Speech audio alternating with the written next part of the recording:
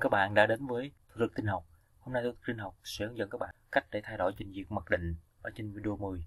Ví dụ trong quá trình các bạn sử dụng máy tính thì khi các bạn mở một cái file nào đó mà nó có chứa một, những cái đường link à, chứa một cái đường link nào đó hoặc là có một cái địa chỉ email nào đó mà khi các bạn kích vào cái đường link đó khi đó thì nó sẽ mở ra cái trình duyệt mặc định à, của máy tính để mà mở cái trang web đó à, đây ví dụ như mình có cái văn bản như thế này và mình kích vào cái đường link thì nó sẽ mở cái trình duyệt mặc định của máy tính ra để nó mở cái trang web này cho mình đây cái vào đây à.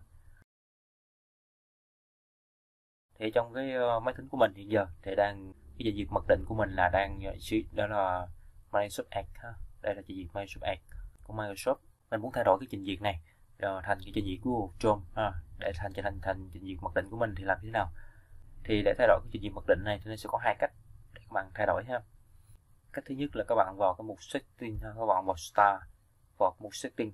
À, có thể à, trên video 11 các bạn cũng làm tương tự ha vào setting. Rồi trong mục setting này các bạn sẽ tìm đến cho mình cái mục là app trong mục app ha mục app.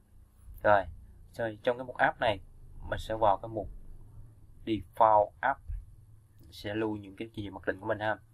Thì ở đây mình đã đặt cái trình duyệt mặc định của mình để mở cái email là Google Chrome tuy nhiên ở đây thì uh, trình duyệt web mình là Microsoft Edge thì ở đây mình có thể kích vào đây kích vào cái trình duyệt Microsoft Edge này. Ha tức là kích vào nó kích vào đây kích chuột vào đây ha. Và mình sẽ chọn lại đây thì nó sẽ hiển thị những cái trình duyệt web đang có trên máy tính. Ha thì mình sẽ chọn một trình duyệt web nào đó là mặc định nếu muốn. Giờ mình sẽ chọn Google Chrome chọn Google Chrome ra. Chọn Speak Anyway để đổi ha.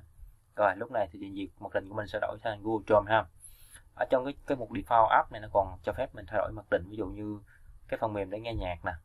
À, có thể chọn để thay đổi được cái phần mềm nghe nhạc ở trong đây ha. Còn có thể nghe ví dụ đây là mặc định mình muốn nghe bằng video media layer có thể chọn cái khác cũng được ha. Là trình duyệt xem video um, ứng dụng xem video mặc định cũng được ha. Hay các bạn thể chọn ứng dụng khác để xem video ví dụ là windows media layer chẳng hạn hoặc là ứng dụng khác để xem video ha. có thể thay đổi được ha. À, rồi bây giờ mình sẽ đóng cái này lại ha đóng cái này lại. Rồi ở đây thì sẽ qua đây. Đóng cái này lại đi. Rồi mình sẽ mở lại cái trình duyệt này mở là kích chuột vào cái đường dẫn này lại ha. Dẫn này. Đó. Thì lúc này nó sẽ mở cái trình duyệt Google Chrome lên ha. Đó, nó sẽ mở mặc định trình duyệt Google Chrome lên cho mình. Chứ không mở cái Microsoft Edge nữa ha. Đó là cách để các bạn thay đổi trình duyệt mặc định ở trên máy tính. Ngoài ra thì còn một cách khác ha. Đó là mình sẽ vào trên trên, trình duyệt Google Chrome luôn các bạn kích vào dấu ba chấm đó. Các bạn vào phần cài đặt ha. Cài đặt vào setting đó. Setting. Rồi sau đó các bạn sẽ đi đến cái mục là default voucher nè. Default route. Ở đây thì voucher đã được thay đổi mặc định rồi thì nó sẽ không cần thay đổi ở đây nữa. Còn nếu chưa thì các bạn có thể thay đổi, thay đổi ở đây. Tức là ở đây mình có thể đặt cái voucher thay đổi mặc định ở đây. Làm trình duyệt mặc định ở đây. À, tương tự với trên cốc cốc ha. Ví dụ như mình muốn đặt cốc cốc làm gì mặc định thì cũng được ha. Đây ví dụ mình muốn cũng có thể dùng cái cách giống như cho cũng vào chọn chỉ có cốc nè cái chữ có cốc rồi vào cái công phần cài đặt ha.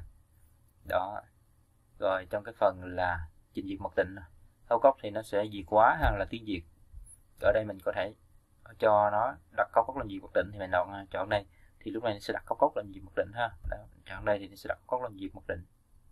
Còn mình muốn có cốc hoạt động cùng hệ thống hay không thì mình chọn đây ha còn không thì thôi thì mình thấy là cái hoạt động cuộc sống thì nó sẽ chậm máy tính ha. Mình có thể tắt đây chừng nào cần thì mở nó lên. Đó thì đây mình đã đặt cốc cốc làm gì mặc định của mình. Rồi sau này khởi động lên thì nó sẽ khởi động cốc cốc lên. Trước ha đây ví dụ như mình mở cái này lên kích chuột vào cái đường link này thì nó sẽ mở cốc cốc lên nè. Đó, đó. đó. rồi lúc này trên Google Chrome ha. À, trên Google Chrome này nó đã không còn là gì mặc định nữa. Mình sẽ lót lại thì lúc này mình có thể đây ở đây mình có thể chọn nó là gì mặc định cái phần default nè mình có thể chọn mất default để chọn cái Google Chrome là cầm gì một định lại ha.